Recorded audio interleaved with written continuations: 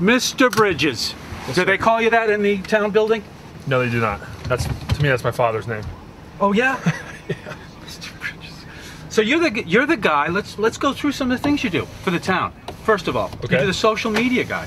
Yeah, technically, I'm the public outreach manager, Yeah. and so I'm in charge of all the social media, digital media, the Okay. website. Yep. So the background is I was I spent I was part time for two years in the IT department, running the social media and kind of uh, I was in charge of redoing the new website. I was the project lead on that. Yep. Um, now I've left IT department and then now over to uh, town administration for public outreach. Okay. They've not replaced me back there, so I'm still doing. You know, when someone has a problem with the website, I still help them. with Oh, that. I see. So you're you do it you do it all plus the social media Right. thing. Vid- um, we have the video recording program where you know FinCom and HDC gets. Um, is that your phone or my yeah, it's phone? me. I'm, I'm I'm I'm with you. I'm just we're just Yeah. playing around. here. Okay. So, where, how's that evolved? The social media. How long you been doing it? Um, but I was only part time before with IT, so this will be like my third year in charge of it. So Yep. what, we're, what we're trying to do is is get to set it up to where each department, they're all a little different. They all have different resources and staffing. Yep. Each department can push out their own messages through Facebook, Twitter, Instagram if they want to, uh, blogs, that type of thing. I'm there to help them. Some I help a, lot, a little more than others. Yep. Others, others are doing really well uh, on their own. Yep. So it takes a while to build your audience. So I'm there to help with that outreach. And how? Yeah, that's a pretty nice job working for the town, right? Yeah, I mean, is it a full time job? it is now. I when I moved over to town administration as a public outreach, in the public outreach position, that that turned into full time. Got it. And you also own a coffee shop. Yep. Yep. Own a coffee Now, shop. Now, why did you do that?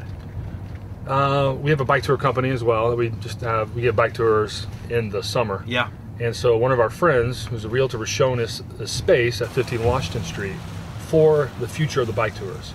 Because I know we're not going to be at this the current space for long. So Oh, you're not. Not yeah, I don't know if it's one year or three more Oh, years okay, or got it. you know Maria Mitchell's going to develop that property in the future science center or whatever they're going to do with that. Right. So we're always looking for just to have a backup plan. And she showed us the space 15 Washington Street and just didn't really work out for bike tours. But we thought, you know what would go really well here? A coffee shop. And then Courtney, my wife, said, call it the handlebar. Perfect. Like, so we went down to Dune, had dinner, sat at the bar, pulled out the napkins, started drawing everything. We're kind of like, uh, yeah, I don't know, let's look into it. And then four months later, we were open. That is amazing. So we weren't planning on doing that. It, um, we wanted a space where, a teaching space where I could teach digital media and some of the leadership things that I do, but also a space for the community Yep. to use at night, whether it's teaching or uh, a lot of nonprofits have their board meetings there because not all of them have a big conference room. Yeah, great. So I don't charge them anything for it. They buy a couple cups of coffee. Yeah. I get people in the space. I've never been there before. So we do a lot of stuff like that. We've had uh, bike maintenance classes. Wow.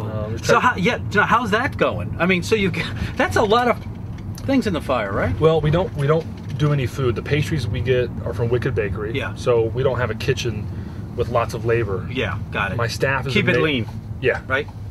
My staff is amazing. I've got uh, Hannah, my head barista, is brilliant with coffee, and she's trained everybody. Oh, Everybody's yeah. extremely nice and Was that hard to, to learn? I, you know, Uh, I've, I think everybody thinks at some point, at one time or another, they're going to open a coffee shop. Yeah, Because I'd yeah. like to actually be part of a coffee shop in Lubec, Maine. yeah. I mean, a, a really nice one like you've done. To sum it was up, that tough really- to set it up? Um, business wise, is like because I was, you know, I ran foods for so long, so I kind of know how the uh, restaurant business Oh, works. right, right, And right. I'd started the bike tours, and so Yeah, I had a little bit of, you know, reference with that. But coffee, I had no reference. I'm a coffee drinker like you, but I didn't really know how to make it. Yeah, right. Um, it's it's pretty. It's not too difficult to make a good cup of coffee or a good latte. It's extremely difficult to make 300 really good lattes per day. There's so many variables. So humidity changes and the volume of the water versus the grind of the espresso versus Right. this Right. and how you pour it and it's really intricate. If you have 10 things in a coffee and one thing is off, the whole coffee's messed up, not just 10% of it. So to make coffee consistently is not so easy. but I got to give it all to my staff. They, um, I've learned how to delegate, and they've they've taken it and they're kind of running it. I'm there three or four times a day, in and out in the morning. Is it, is it making money? Uh, yes. I mean, it's We're putting all the money- Got, you know, I mean, it's got to be tough on the bean right now with the new place that's right across the place. I mean, it's you know, there's definitely a lot of, new. definitely a lot of coffee shops. There on- are now. on Nantucket for sure. So I guess sure. it comes down to uh, you know hanging in there and They- doing it be, right. Yeah, I think everybody has their niche. You know, if you look at the like the corner table and the bean, Yeah. they have um, certain kind of food. But they use the same coffee, right? I think. The Yeah, I think they all use the. You don't use the bean coffee, do you? we don't use Nantucket coffee roasters. No, we did in the beginning. Yeah. Um, and then we wa- we were for a long time trying different espresso beans and Right, different. right. We wanted to offer something different. Is there what, what kind of coffee do you use? We use uh, Compass Coffee from DC, Okay. Yeah. and they have a little bit of a Nantucket connection. And we looked at a lot of different ones, and their espresso blend we feel is perfect for milk-based drinks, Mhm. lattes, cappuccinos, Cool. and and we like coffee roasters too. We are just trying to offer something different to the island. Yeah. Now, how long have you lived out here? I came out here in 1999 for just one summer. The classic classic story. Okay. And Yeah. how did you meet your wife? Did you meet your wife out here? I met her eight years ago. She came out here for just one summer. I see. and uh, I saw you on TV too. You guys were featured in a uh, real estate show, right? Yeah, we did HGTV. You were looking for a place to, to buy. Right? Yeah, Did you so- end up buying something with them? What so was that? So, funny like? story. We we um, our my wife Courtney answered an email request you know like uh, showing you know looking for a house in Nantucket. And we're like we're always looking for something new. We have we have no storage in our house. It's on a slab. You know we have a really small house out in Tom Nevers. Love it. It's great. Yeah. and she saw this, so she applied for it.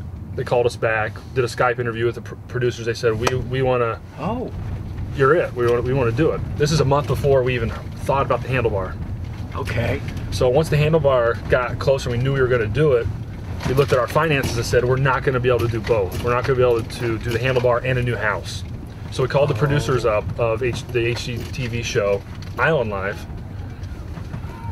Look, the kids all want to be on TV. Hi, What's guys. up? Uh, we called the producers up and said, We're not going to be able to do both. We're going to open up this coffee shop. This was maybe a month before the shoot. And they said, Well, it's up to you if you want to buy the house or not. But we're still going to do the shoot. Like you signed, Oh. you signed the contract. Oh, okay. Got it. So, um, you know, the handlebar could have fell through, and then we could have maybe went with the house. Yeah. We didn't really know. So we, we ended up choosing the handlebar instead. We just couldn't do both. Yeah, okay, okay. That's kind of what happened. Right. And so they, they shot the bike tours, the handlebar, our life. Oh, that's awesome. But has that helped? I'm sure it has. Yeah, So people definitely. still see it, Yeah, right? people come out in the summer and say, "Hey, we saw it on HGTV,". Uh, but we didn't we didn't know how they how they were going to edit us, Yeah. right? Or edit our story. Right. Yeah. So Were you happy with it? Yeah, we, we, we were happy. Yeah. Now, bike paths and bike bike tours. You're you're the guy, man. What a business. Do you have any competition? Not for tours. Um, there's some That's off-island companies idea. that do the big tours, like Yeah. where you come and stay overnight. We Yeah. don't do those. We just do daily tours and custom ones. Um, I think the the bike shops on the island are so busy with renting bikes and cars and everything that they do. They don't really have time to mess with the tour. There's a there's a lot in it. You're spending three hours with somebody. It's really intimate and personal. Right. You know what I mean? Right. What's it What's it like for those people? What would it uh, a tour be like? Not just you don't just don't get on the bike. You you actually take them and do you do you cater for them or how does it We, all yeah, we, work? we do we do some crazy tours You with Um, custom, you know, in at the beach, and we'll have um, lunch ready for them, kind of Oh, really? You know, to just the basic tour where you hop on, come in 10:30, you're done at 12:30. okay. You know, just very basic. Is it kind of like going fishing where you show up at ten o'clock and you're back by two? yeah, You know, yeah, something it's, like that. It's pretty standard. And Yeah. we have we have probably 10 different stops that we go to within Yeah.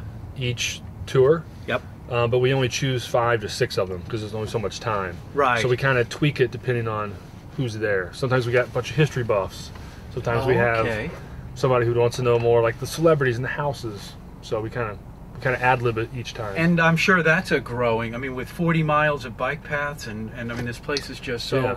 Technically, it's 32, but you know we got more coming. Oh yeah, Like, okay, that's I'm what. just kidding you. Yeah, I mean it's, it's in, in the low 30s. Yeah, okay. we're I mean we're really safe because we have we have guides and we get to talk to them, the safety talk and all that stuff. So we don't really have any problems with cars. We rarely have any, any issues, Right. and right. our, our route's pretty safe. Yeah. Um, but myself and our interns, we commute everywhere during the summer, so we see all the problem areas, and we see that a bike path that goes behind the duck pond to Orange Street to Mm. take the bikes off the truck route is Yeah. extremely important to Yes. the flow of cars and trucks, but also Yeah. safety for the bikes. That's right. All these little things. Well, there's some controversy right now about that, you know, Mhm. about the bikes, you know, in town and what we could do to make it a little better. But don't you think education is really important too? For, Definitely. I mean, if if we can educate drivers to just be careful because you know it's such a bike heavy place that I, I think there's a there's a way to find balance. Yeah, I think it's education. It's a little bit infrastructure, a little bit enforcement. You Right, know, I mean, right. everybody sees bikes on sidewalks and going the wrong way in Orange Street, so it's not just the drivers who have to, you know, improve their education. It's it's the cyclists as well. It goes it goes both ways. Sure. And does. so, um, I'm, I'm on BPAC, the Bicycle Pedestrian Advisory Committee. I'm the chairman of that. And so we're trying, we're pushing for more stencils yes, because stencils, they, sh- I, hey, the ones at the Stop and Shop, they're great, aren't they? They are. They're I see them every time, and it reminds me. It's like even if I don't see a bicycle, I'm like, okay, there's bikes around Right. here. Very good. That's so that's one benefit. Subliminally, it yes, works. it is. It's, that's one benefit. The, the other one is if you use them in certain areas to direct traffic. So when you when you go by Cumberland Farms on Orange Street and you're supposed to curve around to the right, there's a sign there that says no bikes. Right. But if you have stencils that are going this way, it's another Very good. point. directional. to- Definitely. Definitely. so it, it serves two Good purposes. move. Good move. Well, you're a busy guy. What does your wife work too? She does. Okay. yeah. What does she do? She's executive director at Small Friends. Oh, okay. Yeah. Awesome. So she's with the, little ones. Now, what about you? You got any little ones? No, we do not. Okay. No. Well, She's got a lot of little ones. there you go. You know, Monday through Friday. I got you. Yeah. Thanks Well, a lot, you. man. Thank you. This was fun. Wasn't it? I'm telling Yeah, you, it it is great. fun, and we did it live. Look, I mean that qual. Can you? This is what I'm trying to get to, so that we can we can alert people when when we go live, and we want to do more live programming like Mhm. this.